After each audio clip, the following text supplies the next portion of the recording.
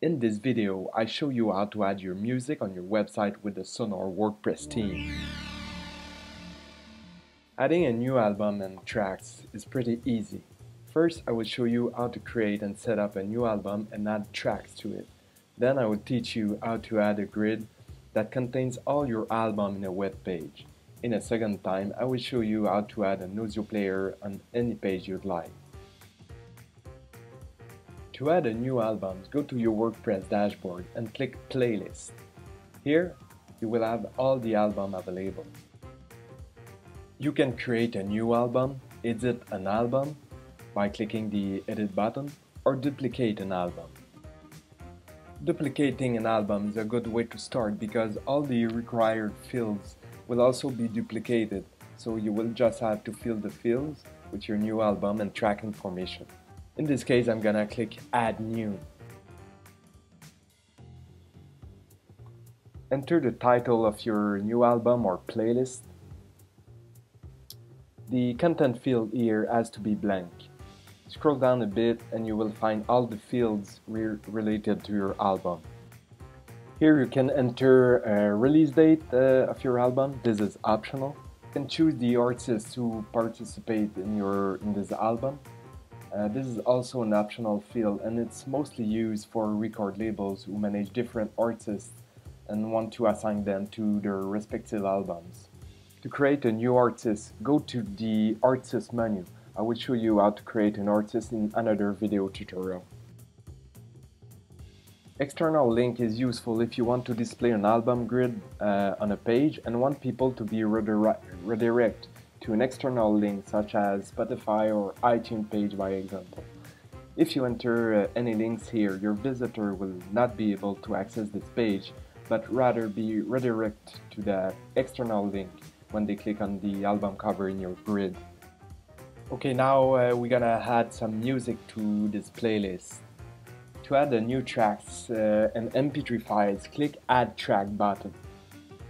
You have the option to upload an MP3 file or to use an audio file that is being hosted on an external server. Please note that if you choose a stream link, you will need to use a link to an MP3 file. So SoundCloud or Spotify, by example, will not work because they don't provide a link to an MP3 file format. So in our case, I will upload an MP3 file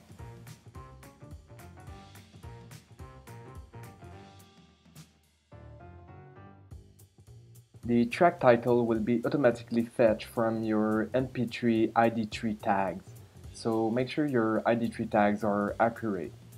If it's not the case, you can edit the track title by editing the mp3 title here. The store list repeater field is an optional field and, it, and is used to add small icons or links beside each of your tracks. By example, if you have a music video related to that track where you want people to watch the YouTube video or have a download button or a buy now button, this is the place you will enter the, the link information. You can add unlimited tracks simply by clicking the Add Track button. The store list module here is used to display buttons or links below your track list uh, where you tell people where they can buy your album. Okay, now that we have added some tracks, we will add an, uh, an album cover. So simply put a featured image that represents your playlist. The album uh, cover dimension should be around 500 pixel by 500 pixel and shall be a square JPEG file. Uh, don't upload a PNG file. In page settings, you have uh, several options. In most cases, you're gonna use a light logo version and the show menu over content checkbox enabled.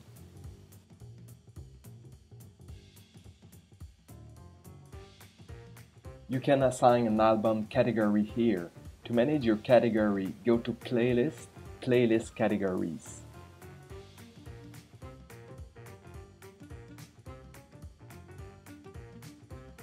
Here you have uh, four options for your page header. Choose the one that suits your need and that's it. Alright, you have created your first album. So um, save your change or publish the page. And here we go.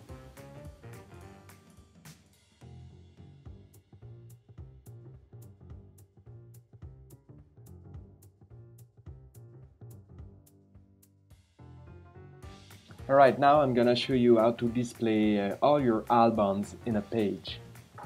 Go to your WordPress dashboard and create a new page. Now you can enter the title of your page here. Then publish your page and click Edit with Elementor. With our team, you have several ways to show your albums. It can be a very squarish grid, a parallax grid, or a slider.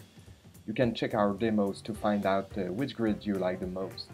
In this case, I'm gonna use a very simple music grid that is made with Essential Grid plugin. So very simple, you just have to drag and drop the Essential Grid module here and select which grid you'd like and click Update. If for some reason your album doesn't show up here, it's probably because your album is assigned to a category that is not currently recognized from the essential grid um, that you have selected. So our predefined album grid that come with our templates will display all the albums that belong to specific categories. So if you have assigned your album to a new category, make sure to edit the grid source by going to Essential Grid and exit the grid source tab.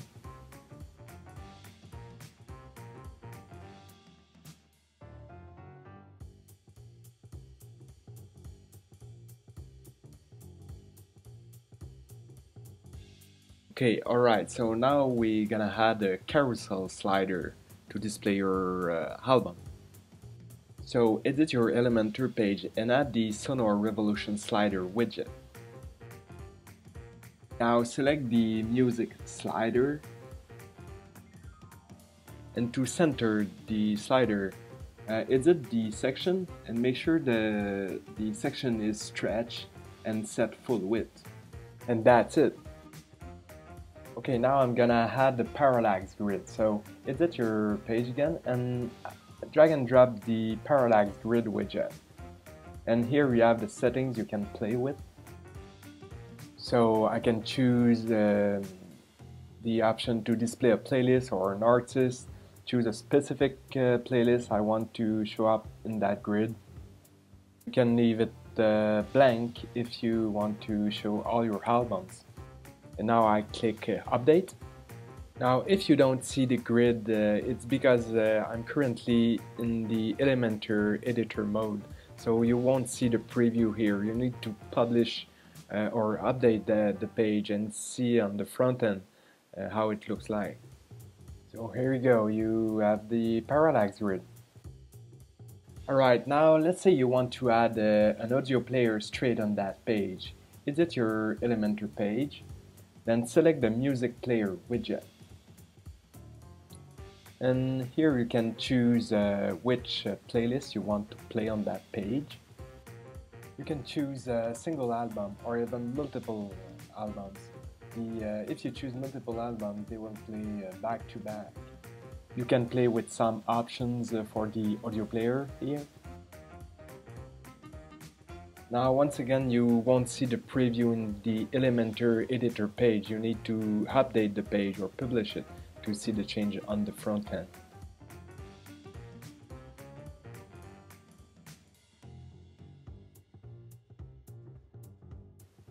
Alright, now if you want to change the fonts uh, and colors of the player, go to your WordPress dashboard, audio player and event settings, and you can edit the look and feel of the music player here. And the footer music player in the continuous music player settings here. You can also uh, change the slug name of your single album page by going to the discography menu. The slug URL is when people visit your single album page, is the address of uh, your web page. So that's it, I hope you like it. Thanks for watching.